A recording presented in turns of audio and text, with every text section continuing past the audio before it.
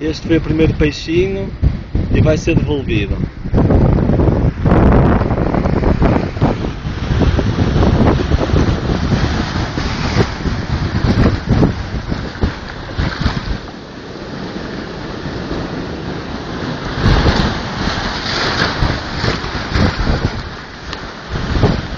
Aqui vai ele.